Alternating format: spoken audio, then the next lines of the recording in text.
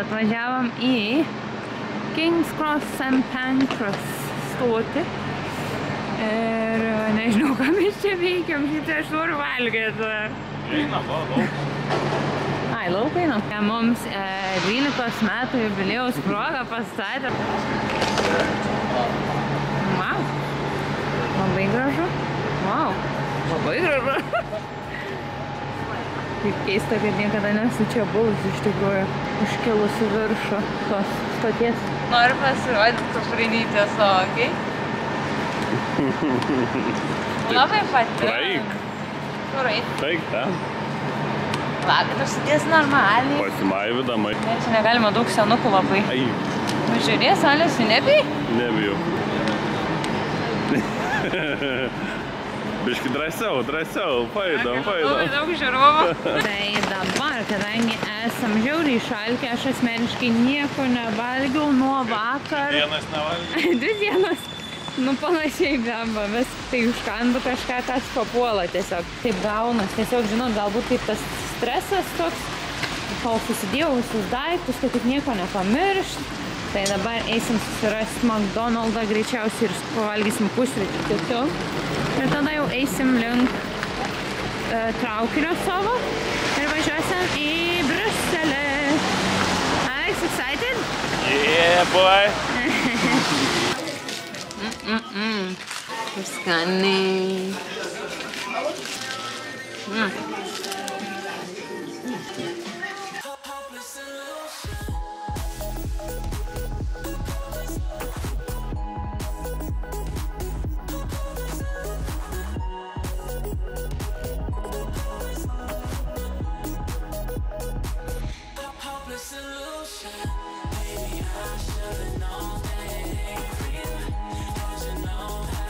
Deze hadden we ze nog niet gedaan.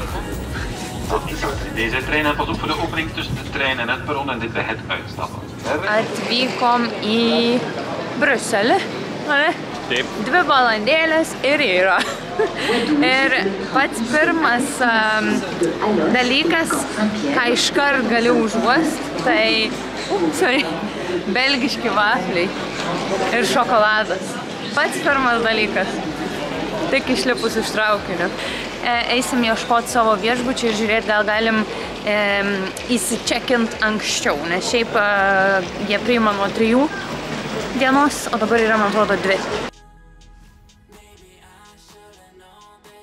Beveik atėjom jau. Alesa sako, mūsų viešbutis biškiai apžėlęs. Tikrai atskirsim mūsų viešbutį.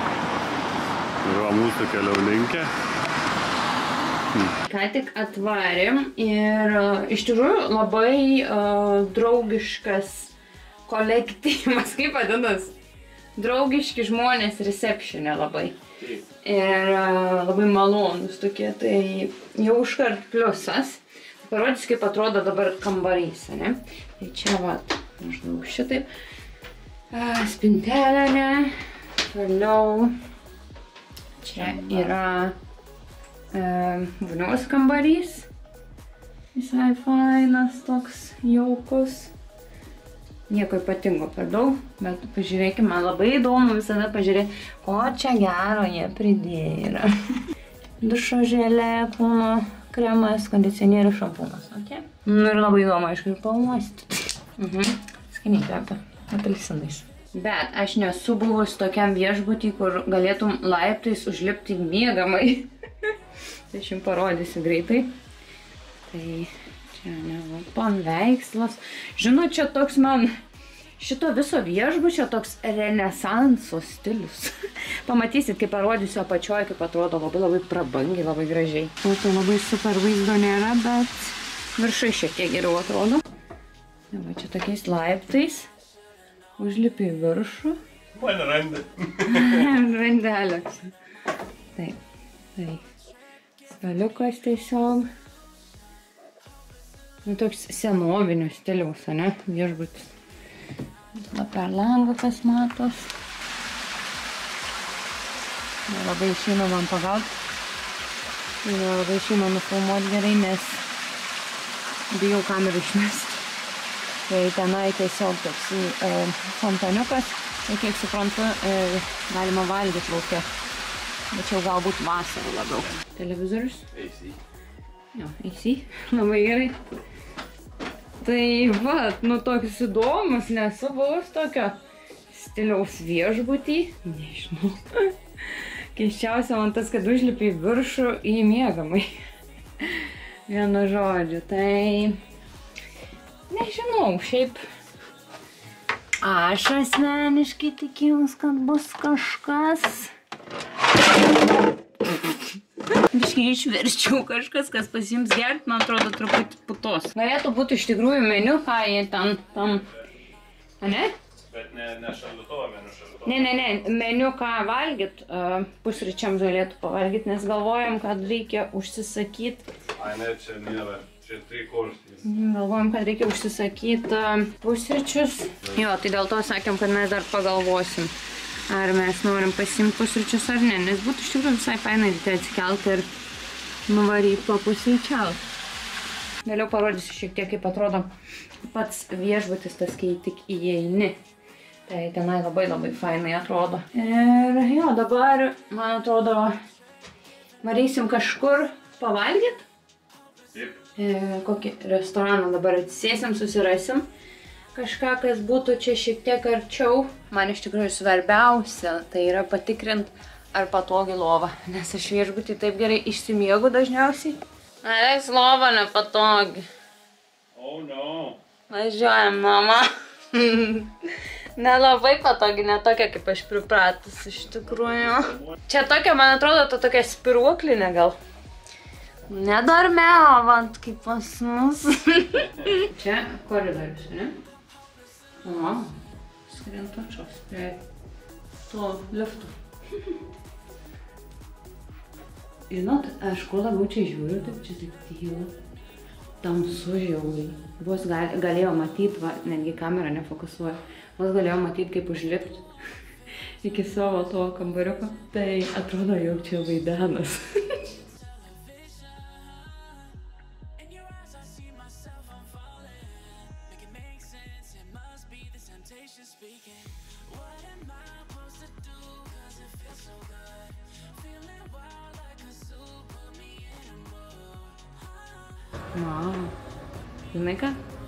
noriu tai čia pavalgyti. Na gražu, labai. Atėjom į parduotuvėlę šalia mūsų viešbučio. Ir žinot, aš aišku eisiu iškarant prie čipsų skyriaus. Tai nesu niekada ragavus šito. Man taip atrodo. Lietuvoje gal nebent. Kažkada buvo galbūt agurkėlių skonio leisiai. Ir aš juos pasiimsiu. O, va, čia tokie dar, ne? O, žiūrėk, maksai tie yra, ne? Salt and black pepper flavor. Pickles flavor, jam labai patinka pickles, ne? Aš taip suprantu. Um, agurkėliai labai belgam patinka, ne? O, žiūrėk, dar čia, tai tada leisi normaliai yra, tada atsiimu žodžius. Patinka, Belgija labai patinka. Kadangi aš nepasiėmiau kvepalų, pasiskundžiau Aleksui, kad pamiršau pasimti kvepalus. Tai Aleksas nusivedė mane, nupirka kvepalus. Ką man, ką man sakyt? Ką dar nupirksi? Taip ir sakai, kad tyčia palikai. Aš sakiau, kad aš e, atsilyginsiu, kažką nupirksiu atgal. Tai galėsim nueiti, aš tau nupirksiu kokį ubabu. Ir aš jau persimovau e, į kitus batus, nes buvau su tokiais ilgais batais. Bet žinot, aš esu pripratusi kėdais pastoji vaikščioti. Ir šiandien mums reikėjo nemažai vaikščioti, tai galvoju, aš nekankinsiu savo kojų šiandien tiek jau daug. Jis nekankina nuo Londono. Alisas niekad nekankins savo kūną. Realybėj e, daug geriau atrodo, neišeina per kamerą perteikti to vaizdo, bet galingai taip.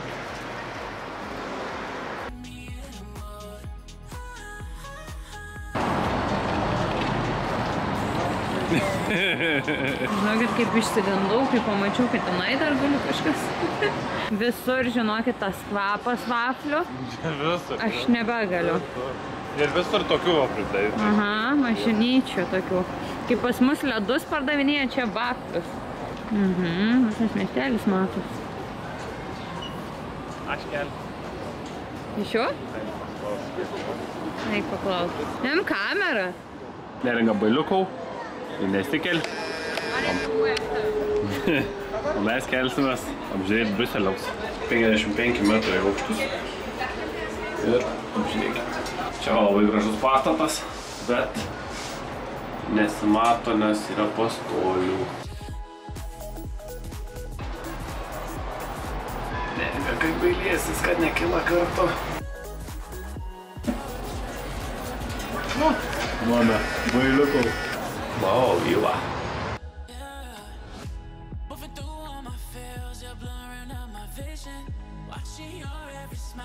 Like your television. Savo karūną palikau, reiks pasiimti paskui. O dabar sustojom išleisti žmonių, galiu gražiai nufilmuoti. Labai įspūdingai atrodo iš arti. Visas Blius, Bliuselis, visas Briuselis kaip vienas didelis bulvariukas man asmeniškai. Žinot, ką mes pastebėjom iš tikrųjų? Labai nėra. Kad čia nėra uh, stambių žmonių. Kiek vaikščiojom, nematėm kažkokio tokio, žinot, jau visiškai. Nes uh, Londone tai yra truputėlį žiauru. Tai kur paslaptas tada, ne? Ar čia tiesiog, va, man kaip sako darbė, kad o, europiečiai, ypač rytų europiečiai, tiesiog pagal genetiką yra, ne, plonesnį. Nu, nežinau, aš nelabai sutinku su tokiu dalyku, nežinau. Taip, šį kartą aš atsivedžiau Aleksą į restoraną. Jeigu bus neskanu, tai reiškia ne aš atsivedžiau. Tik atėjom, padėjo štai šitą tokią, kaip vadinasi, ne, nu, kad pasidėtų lėkštas, ne? Popierė. popierį tiesiog. Ir um, pamatė Al- Aleksas iškart šitą alų, sako, man šitą, iškart, be jokių apgalvojimų. Vieną blond, vieną brown. Jo, pasiėmėm vieną blond, vieną brown, vieną brown. tai um, čia yra tiesiog paklausėm, sako, belgiškas alus. Nu tai kaip neparagausiu, žinau. Ir um, vadinasi šitas La, la. L- Labistro, kažkas tokio. Ir va, pažiūrėk. Lebistro, lebistro. Vaizdelis neblogas, ką? Nu, ne, ne apie šitą žmogų. Neblogas. tai turėtų atnešti meniu, ne? Ir tada žiūrėsim, kas čia gero. Atnešė mums meniu, o pažiūrėkit, kokio dydžio meniu. Dabar bandysim kažką išsirinkti. Ir čia gėrimų meniu, ne? Šiek tiek mažesnis, bet ko nėra. Mes jau pastebėjom, žinot, praeitam video, kai aš pasakau, kad e, e, daug kas sako, kad Paryžių žmonės yra nelabai draugiški. Aš nežinau, aš nebuvau, bet taip daug kas šneka. Bet dabar, kai esam čia Briuselį, tai pastebėjom, kad žmonės labai mandagus. Tai čia šalia manęs dabar sėdi toks vyriškis, jis atsisuko į mus, iškart paklausė, sako, ar viskas gerai, jeigu aš rūkau. Mes, okei, okay, nieko tokio. Tai e, labai daug tokių interakcijų apturėjom malonių. Tai labai džiaugiamės kol kas. Atėjo mūsų starteris, e, čia yra kalmar. Kalmarų žiedeliai, ne? Su salotom, su padažiuku. Einam valgyt. Tai galbūt netrodo labai išvaizdžiai, bet mes pasiėmėm guliašą. tai čia, nu, šiaip ne guliašas, čia jeigu vers iš anglų kalbos, tai troškinys. Tai aš pasiėmiau su jautiena, o Aleksas pasiėmė su, su zuikiu, vienu žodžiu. Ir e, žiūrėsim, reikia ragauti. Iš tikrųjų, tiek ilgai laukiam to maisto, kad net nebenorim valgyti. Bet nu ką, labai skaniai kvepia ir taip norėjau bulvyčių. Tai labai džiaugiuosi, kad su bulvytėm atėjo, nes nepatikrinau prieš užsisakydama visiškai. Ir va, įdomus faktas. French fries, bulvytės, e, atkeliavo iš tikrųjų iš Belgijos, o ne iš Prancūzijos. Taip kad, the more you know, persivalgėm. Alisa suvalgė pagrindę mėsą, bet paliko bulvytes. Aš suvalgiau bulvytes, bet palikau mėsą. Ne dėl to, kad buvo neskanu ar dar kažką, bet mes persivalgėm nuo tų, nuo tų kalmarų. Aš užsisakysiu vyno. Ką tu? Mokito. Mums savė gėrimą pavadinimu limoncello. Aš nesu gyvenime tokio gėrimo gėrus. Esu girdėjus apie jį, bet niekada nesu gėrus. Ir e, davė uždyką. tai gal e, pakartojom, dar kartą ateinam. nu, aš paragausiu. Čia turi, aš bet nežinau, ar turi kaip šotą tiesiog išgerti. Ar Kaip šotą sakė, kada atnešė šotą. per pusę gal tiesiog. Aš turiu savo. O, Nu, ragauju. gerai. Viens, du, trys.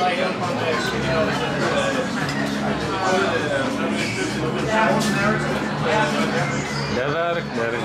Kaip sunku iš tikrųjų gyvenime yra. Žinok, Alėse, kai tu bandysi neišgersi viso iš karto.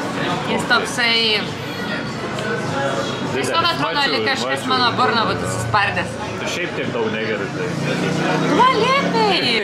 Tu man liepiai visą iš karto. Nu, Aš kaip- Gal jį turi va šitaip sirpčio, o aš čia taip kaip įmietę kokią visą užsiverčiau. Bet žinok, toks apšildo gerai, čia gal tame yra esmė, kad tipo, po viso maisto ir skrandis toks pilnas, kad apšildi Bet kaimynam nedavė. Žinot, matė, kad mes čia daug filmuojam.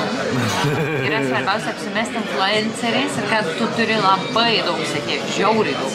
O tada kartais įgauni kažką, nes va rimtai nedavė tėvų. O į sveikatą? Nereik čia tokių dalykų. Iš tą veidą neatrodo, kad labai skanu būtų. Labai skanu. Kiek duotum iš dešimt? Kaip už dyką dešimt. Stiprumas toks pareina greit. Tai tikrai e, iš vieno karto neišgerčiau. Aš sakau, kad galbūt čia reikėjo taip popieški, taip žinai, žinai, vien žodžiu. Nėra taip blogai, dabar kai jau išgėriau, atrodo. Apšildė taip.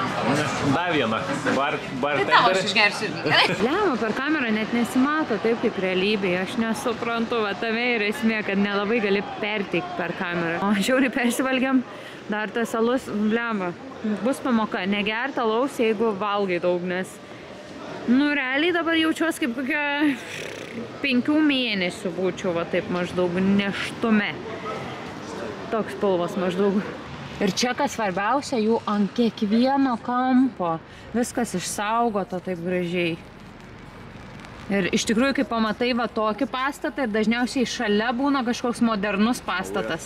Ir kai palygini, nors šiaip modernus pastatas atrodo gerai, ne? Bet kai palygini, kai šalia vienas kito yra, atrodo tas modernus pastatas ant tiek nublanksta, kai pamatai tokią architektūrą. Jauriai gerai atrodo. Aš net išsigandau pamačius, nes nesitikėjau, kad tokio dydžio pastatą. Alės, pagūglink, kiek jie metų. Kelintam amžiai pastatytas. Turėjom tai. Taip, nu. What? Ką nors daryti, kaip man vaikščiot, man iš naujo vaikščiot reikia išmokti.